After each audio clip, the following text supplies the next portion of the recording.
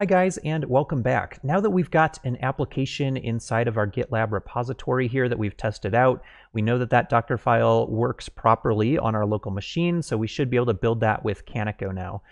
So over here on the Kaniko repository, they've got basically a huge README that kind of describes how to go about running different types of builds. Now remember from the diagram that we were looking at before, there are different sources that you might be dealing with like uh, GitLab repository, which is what we're going to be doing in this case. And then you've got also different targets or destinations, which is going to be your container registry where you want to push to. And we're going to be using Amazon ECR, which I don't really have a picture for here at the moment. Um, but just keep in mind that in this case, we're actually going to be reading from a private GitLab repository as our source. So what we can do is just take a look at how to run Kaniko in a Kubernetes cluster here. And in order to run Kaniko inside of a Kubernetes cluster, we need to have a pod definition. So we're actually going to be creating a pod spec here, and this is going to refer to the Kaniko container image. So basically we're going to deploy a new pod using the Kaniko executor container image. And then there are going to be a bunch of arguments that you can pass in to the executor utility that runs as part of this image and that is going to determine where your source context is, and it's also going to determine where your destination container image is going to be pushed up to. So our context here is going to be our application source, and so in this example here, they're actually using a Google Cloud Storage URL in order to download a tarball, a gzipped tarball from Google Cloud Storage. But in our case, our context or our source is actually going to be a Git repository instead. And so we're going to be using a Git URL instead of using the Google Cloud Storage URI right here. You can also override your Docker file. So if you have a file named something else other than just Docker file, you can actually override that and specify the exact name of your Docker file that you want to use for the build. And then under destination here, this is where you would set the URL to the container registry that you want to push to. Now, in order to provide the secrets or the credentials in order to authenticate to the source context, so we have a private GitLab repository, and we need to provide credentials for that, we can actually use something known as Kubernetes secrets, and then we can mount those secrets into the container in our pod spec configuration right here. So we're going to take a look at how to kind of set this up. So for starters, let's go ahead and just grab this for uh, grab this um, example here, and we'll just bring it over into uh, VS Code. So let me just copy that over into VS Code here. And I'm just going to add another file to my project here. I may not actually commit it, but I'll just call it kaniko.yaml. And I'll just paste in this file here, and we can go ahead and just edit this to just base it on our needs here. So we don't need to customize things like the image here at the moment. Uh, so this is just referring to the executor image. And so generally speaking, we're going to be using that, um, although we are actually going to be tweaking that a little bit later on. But for the time being, what we care about most is setting the source context here.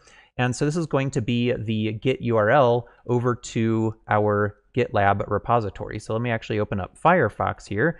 We'll come over to Git and we'll say clone and then we can, of course, just choose the um, Git repository here, which will be gitlab.com slash uh, Trevor Sullivan slash my web app.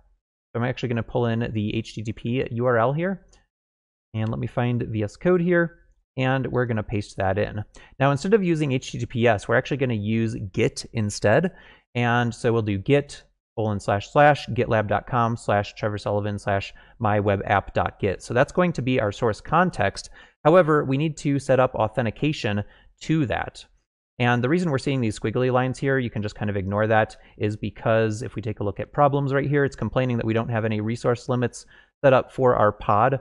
Um, so I'm just actually going to ignore this for the time being. So if you do see those squigglies, that's probably why. So what we need to do, if we switch over to the repository for Kaniko itself and do a quick search for git password here, you can see there's some directions for using a private Git repository. And they only mention GitHub here, but this does actually work for GitLab as well. And so what we're going to want to do is either pass in the token uh, to authenticate to GitLab either using this URL here, or we can actually pass the username and password in by using the environment variables git underscore username and git underscore password inside of the podspec configuration. So this is the route that we're going to go, um, but what we need to do first is actually generate those credentials. So back on the repository itself, we'll go to, um, let's see, settings down here, and then we'll look for a general, and we'll just head over here. And actually, we're looking for repository here, not general. And we're going to look for deploy tokens. And this is going to allow us to grant access to our repo. And I'm just going to call this uh, key CBT nuggets. I could set an expiration date here. So maybe I'll set it one just a couple of days out. We can also set a username. So I'll set that to Trevor. And then we of course need to make sure that we have read repository access in order to grant access. So let's click create deploy token here. And then this is going to generate a token or password for us to use. And we can generate a secret for that based on the username and password. So back in our VS Code here, I'm actually going to add in another resource. And the way that we do that in a Kubernetes manifest file is to do a triple dash here and then we'll go ahead and add in a secret. And I've got an extension installed that'll just help me generate a little snippet here. And then I'll call this GitLab source as the name. And then down here under data, this is where we can set uh, different key value pairs. I'll say username Trevor. And then for the password here, I'll go ahead and paste in the token that we just copied to our clipboard. And so now we can actually mount this into our Kaniko pod. So now that we've got our credentials defined on our secret here, we can go ahead and set up a couple of environment variables down here inside of our container definition in order to map in our secrets and set those as environment variables in the container itself. So I'm going to add the env section to our container spec right here. And then I'm going to go ahead and just create an array of items here. I'll do a dash and just say name, and the name will be git username. And then for the value, we're going to do value from, and then say secret key ref. This is how we can reference a secret value and map it directly into the container as an environment variable. And then the name of the secret is going to be, of course, GitLab source. So we'll choose that. And then our secret here actually has a mapping. So we have two different key value pairs. And in order to refer to one of those, we can do key and then say username. And so that's going to basically go to the GitLab source secret. It's going to look for a key named username. And then whatever the value of that username is, is going to get assigned to git username. And then we'll do the same thing. I'll just copy this down Alt Shift down arrow in VS Code, and then we'll do git, whoops, git password, and we'll simply change the key to, uh, what do we call it, token? No, password. So we'll do password, and so now we have these two environment variables defined on our pod spec, and so that should allow Kaniko to actually access that source.